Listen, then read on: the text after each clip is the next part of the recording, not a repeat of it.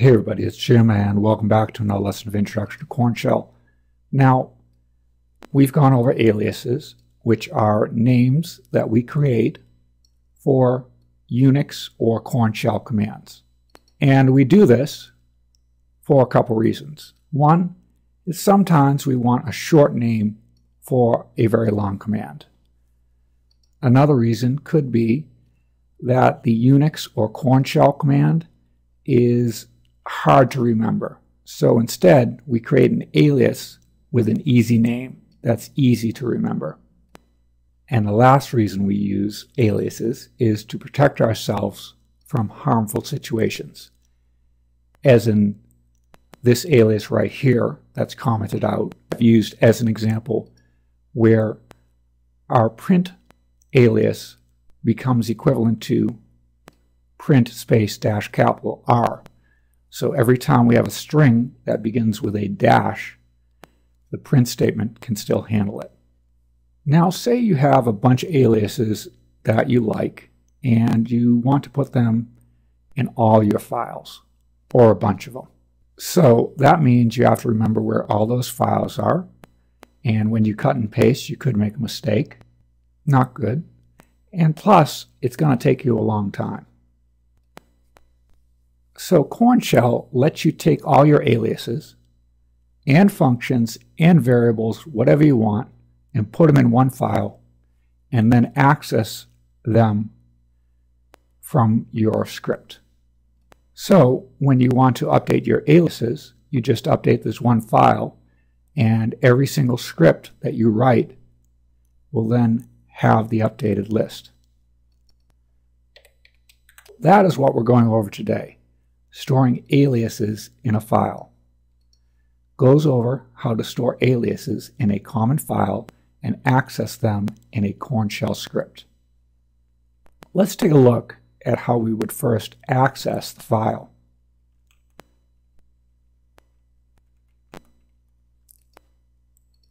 This is the magic right here. what you do is you have a dot all by itself. It doesn't have to be the first character in the line, but it does have to have space around it. And then you just provide it with the name of a file. And what this does is it will take this file right here, take the contents of it, and just plop it down right here in your script.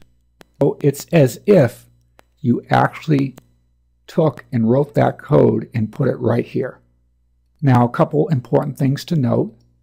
Whatever you put in this file is not known until this point.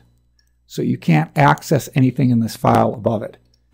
And the example I'm going to do is D1U, which will be an alias that is defined in this file.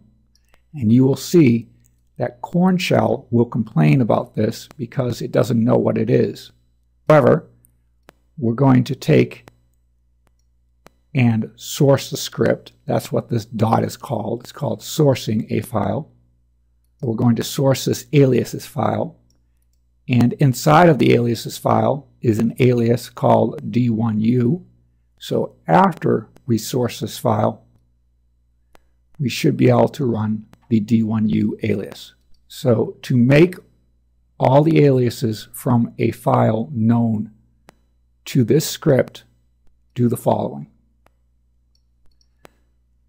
You have a period by itself, a space, and then a file name. Could be more than one white space if you want.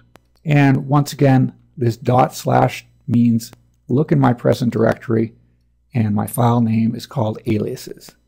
Let's take a look at aliases. Here we are in the aliases file. It holds aliases and functions.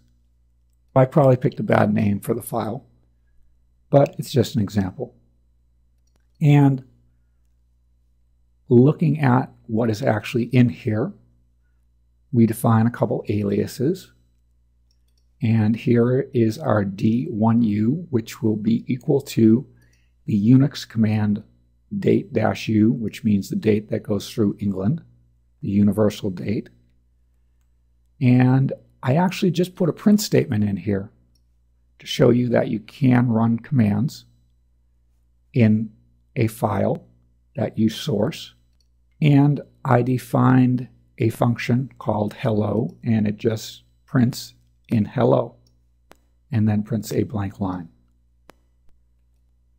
Once again, looking at our code, this right here is the first executable statement, D1U.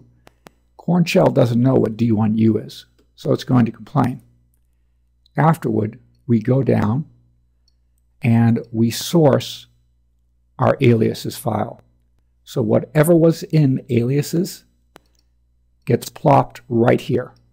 So all those alias definitions, that print statement, and the function definition all get put right here, and every single one of those commands gets run.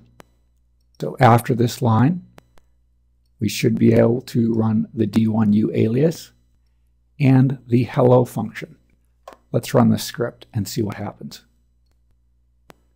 Our script name is aliases3.ksh.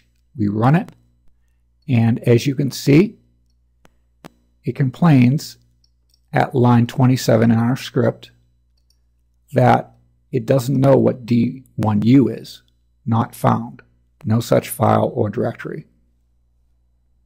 Afterward, we source our aliases file, and here we are inside of it. And afterward, we once again run the D1U command, the D1U alias, and it does, in fact, give us the time, the universal time, as you can see right there. And then we run our function called hello. And it did, in fact, know what the hello function was. So once again, if you want to store a bunch of aliases or functions or commands that you want to access from a bunch of different scripts, put them in one file, call it whatever you like, and you access it by putting a dot, a space, and then the name of the file.